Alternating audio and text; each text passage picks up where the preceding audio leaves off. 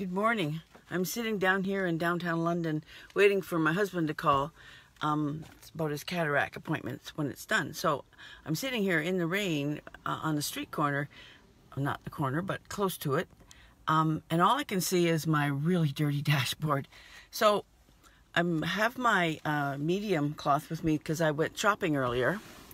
And I went to um, Walmart. They open at 8 o'clock, and literally there was me and three other people. Um, then I went over to Canadian Tire, and there was maybe four people because they open at 8.30. So a little clue there, if you want to go shopping, go early. So anyway, I was just sitting here thinking, uh, maybe I haven't done this car for like three months because I don't get in it very often.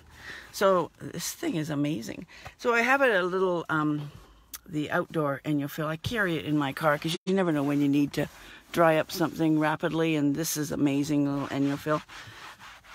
And we're sort of outdoors. So anyway, I am just here and by gosh, that's kind of good. I'm to have to do this more often.